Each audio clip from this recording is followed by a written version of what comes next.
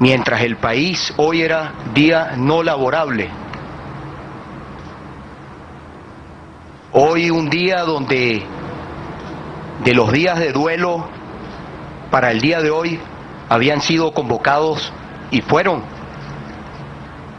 los actos del sepelio del presidente, a pesar de que, bueno, ya fue informado el país que el presidente va a ser embalsamado y va a estar en una,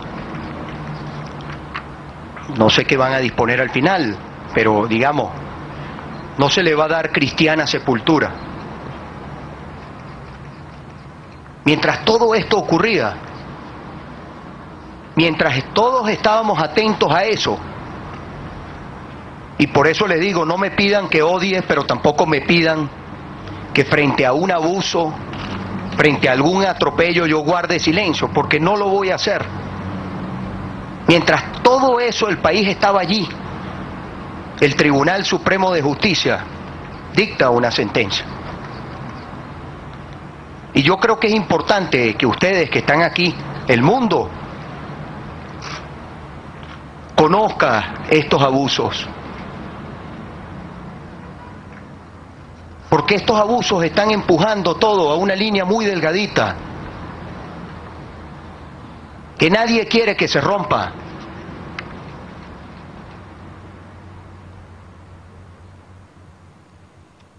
Yo quisiera compartirlo con ustedes, con el país. Porque además yo lo he calificado de un fraude constitucional, lo que ha hecho hoy. Y le digo a nuestro pueblo, seguidor del presidente, hoy, día de dolor, el tribunal por lo visto, la única institución que elaboró hoy en el país despachó una sentencia.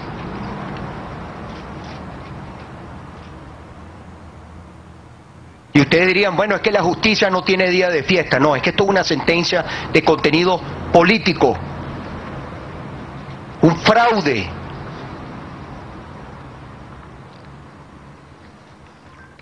La sentencia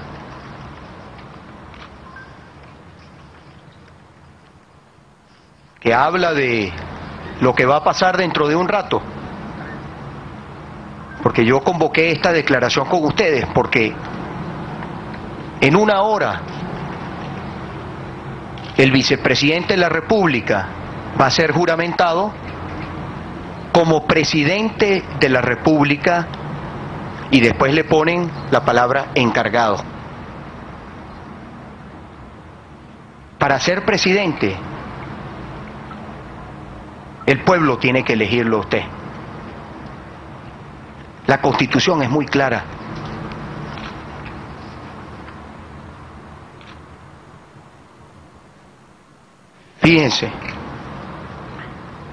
Aquí tengo yo algunos extractos de la sentencia.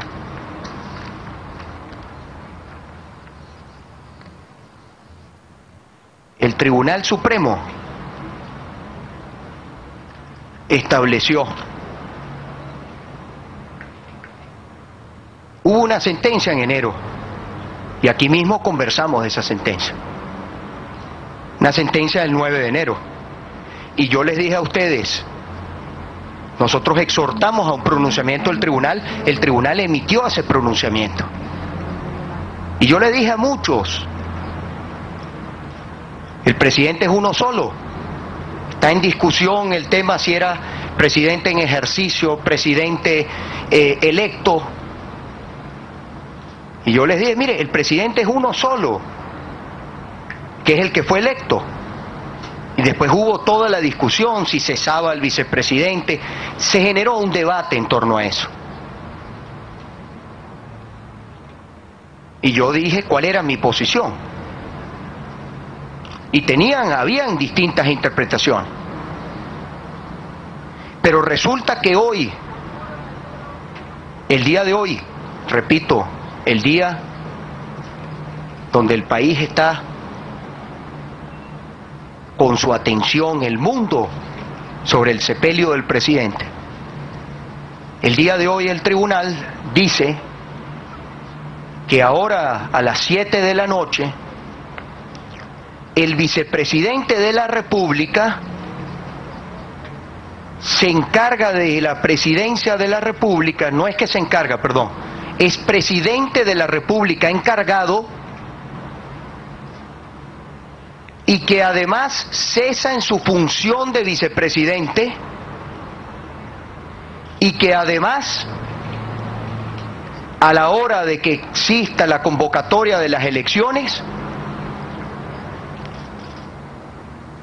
puede ser candidato y ejercer la presidencia.